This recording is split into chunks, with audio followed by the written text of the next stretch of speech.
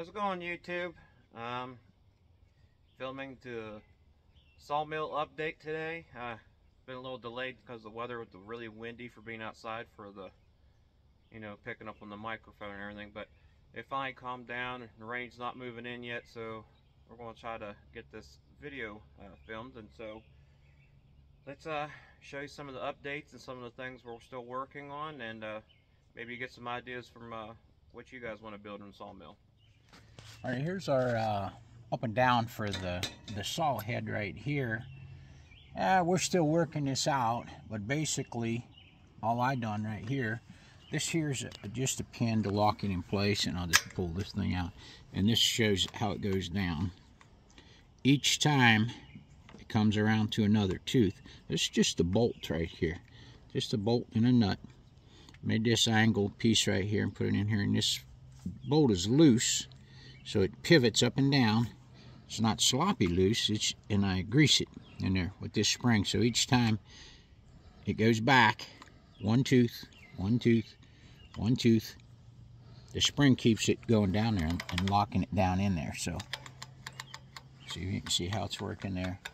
Everything's in the trial mode right now. Let's see it going up and down here. This is the coming down and each time it clicks a, a, a tooth but we'll go back up with it here.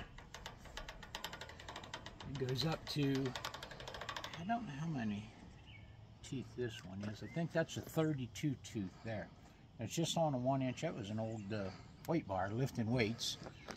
And the cables are adjustable on it. This, we haven't done any adjusting on it yet, but it, all we have to do is turn the turnbuckles because this will have to be This will show the bar system a little bit better.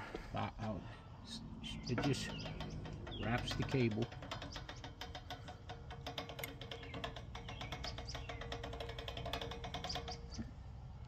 Of course, come back down. Uh, everything is temporary. It'll be, you know, locked down tight. There's a couple hose clamps up there holding the cable. It won't take a lot. I think I'll actually put two pulleys down here because that'll double this lifting capacity. It'll kind of make the a little bit lighter when you do put yeah, a pulley system there. It, it, goes up and down fine right now, and the speed's pretty quick. Like one, two, three, four is about a half an inch. I think it's eight teeth. Might be something like that. I haven't calculated it yet, but I think it's about eight teeth to an inch uh, which is fine. That gear ratio will turn out pretty good because you're not cranking it around like this that, that much to get it to. This here's just a lock, and this is also on a spring. This lock here, you see this mechanism? See the spring there? Well, I can do this, and then I just crank this nut down just a little bit, and and what it's done is put a pin through here, and now this can't this can't go anywhere. This is just the uh, well, that's actually a piece of all thread and I put that on here just to, till I can see it holds it. I would not want to take it off and twirl around and slap me in the jaw yep. um, with the weight on here. Um, this is the this is the guide rollers right here. They'll, they'll drop down off of here and come over here to the wheel. That's on the that'll go on the blade.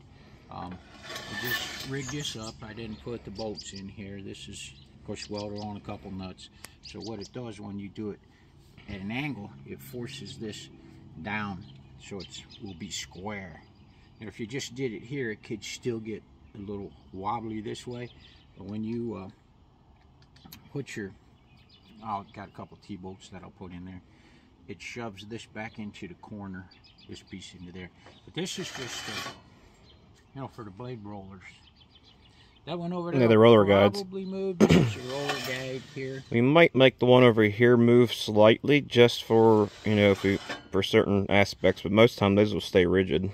Yeah, you don't use these a lot. This mill's just designed to be able to do wide slabs. We could do 46 inches wide, maybe as much as 48. So I wanted this to, when the guide rollers come down here and go over to the blade, which is turning this way, you know, the throat will be 46 inch slabs.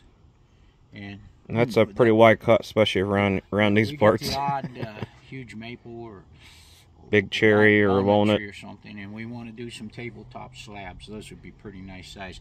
Most of the time, this here will probably be all the way over here. And because most of our logs is just like regular logs and cutting 2 by 12s and 2 by 8 lumber. Um, so this here we're getting along pretty good. Uh, this doesn't, once you put the two bolts in here and tighten these down, I really don't even need this. It's This rigid. That just Yeah, kind of it little extra we put on there, it might take off. It's in there for now while we're doing the trial.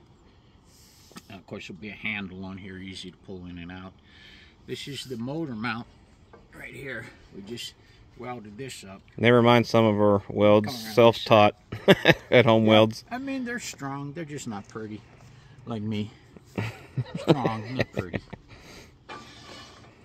This right here will bolt on it. The motor will go right in here, and uh, this is quarter inch steel.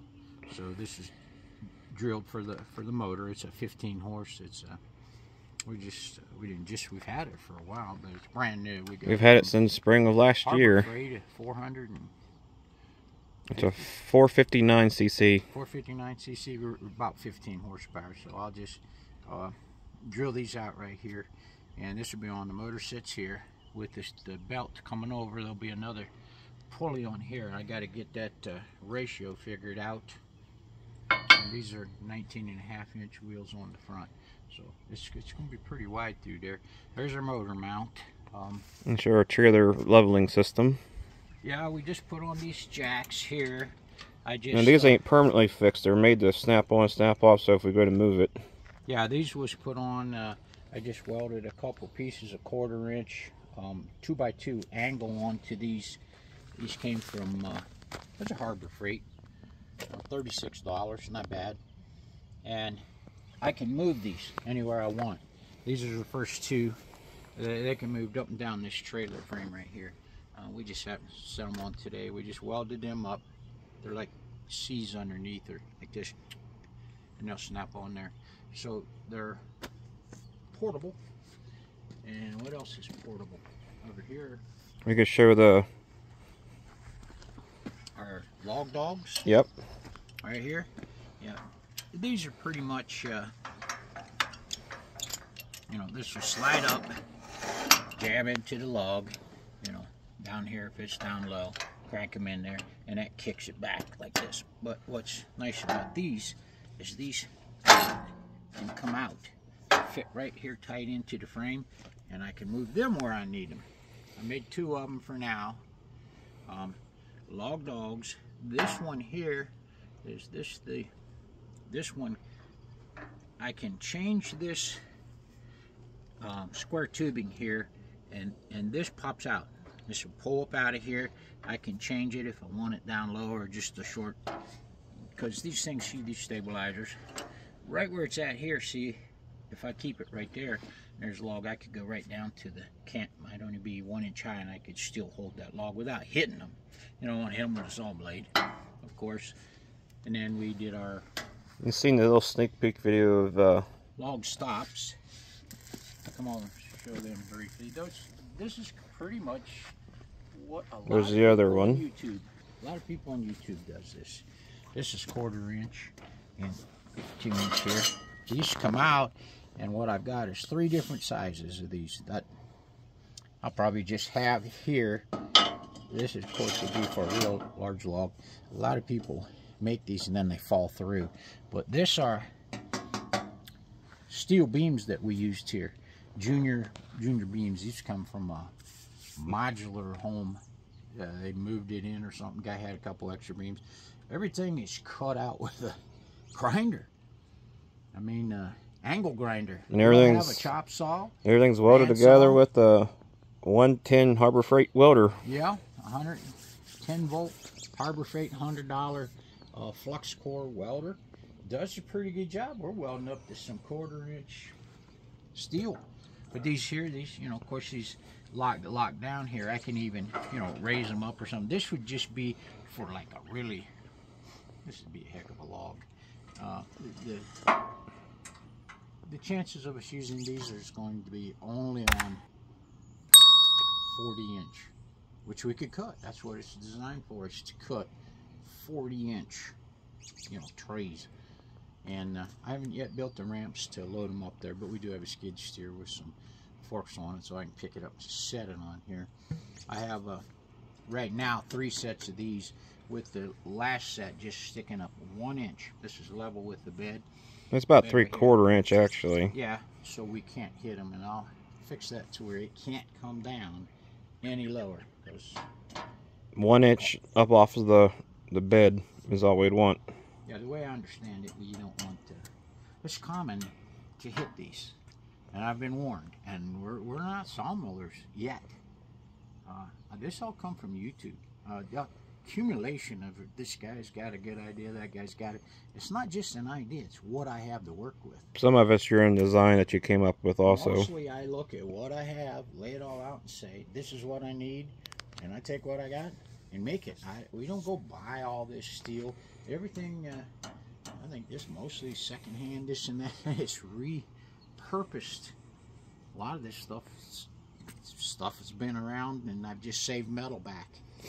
The only things we really bought was, you know, like the the wheels and the, the jacks and stuff, stuff we can't really make very well, and the gear systems. We bought all that kind of stuff, and it's the the frame itself is set on an old camper frame Yeah.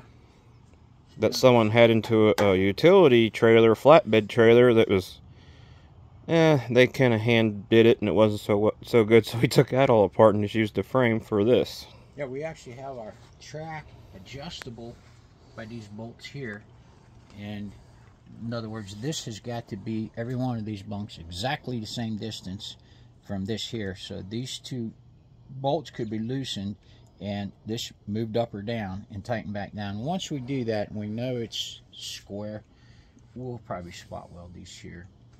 And they'll no longer be adjustable, won't no longer need to be adjustable once it's dialed in. But for now, you know, I wanted to make sure we had some options there. Let me see how it rolls down here. We just get got it moving. Yeah, we had to make little adjustments for uh, get the roll pretty smoothly, but I think we got it dialed in. Yeah, it uh, it's a beast it's heavy. I mean, we loaded this up here with a skid steer when we had it off of here. Everything's built extra strong. We wanted an extra strong slabber is what we wanted. Yeah, this right here, clear those, but I mean, for as heavy as it is, we don't even have the motor on it yet. The motor's 150 pounds. I guess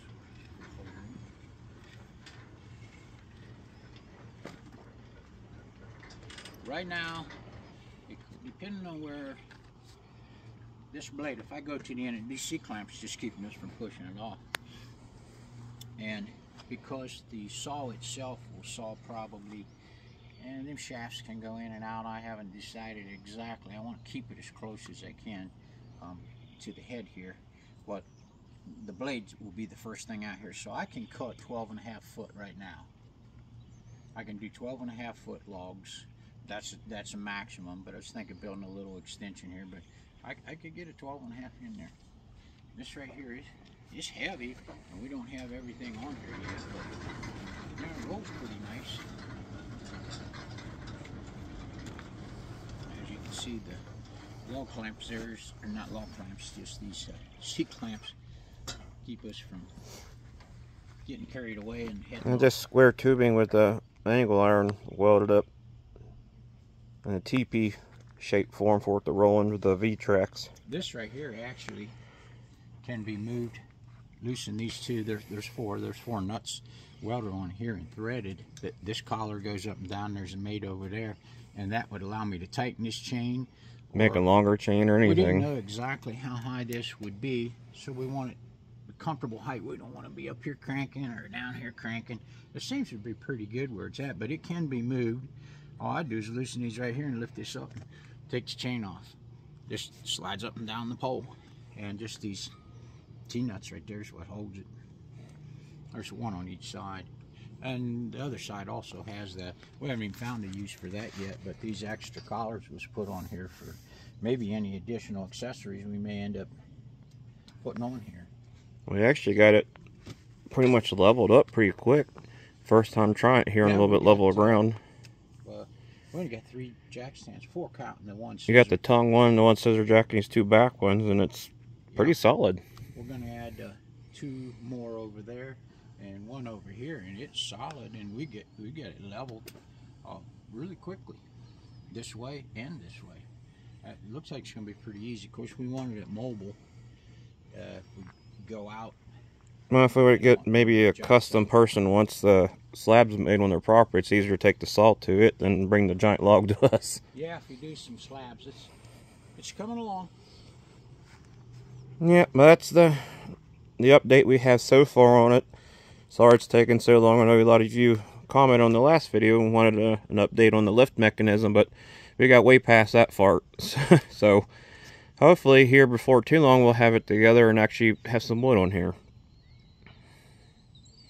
So thank you guys for watching another channel episode. I know it wasn't woodworking technically or bowl turning, but this is a process of one of the ventures I'm doing to get into slabs and tables and furniture, anything I want to get into is involves wood and cutting my own wood. This is uh, one big step key to it. And I'd like to uh, thank my dad, who's one of the designers and fabricators and being on the video with me. He's one, one of the big supports I have for my channel and helping me grow and get better and better. So until later, guys, uh, thank you. I love you guys and uh, see you next time.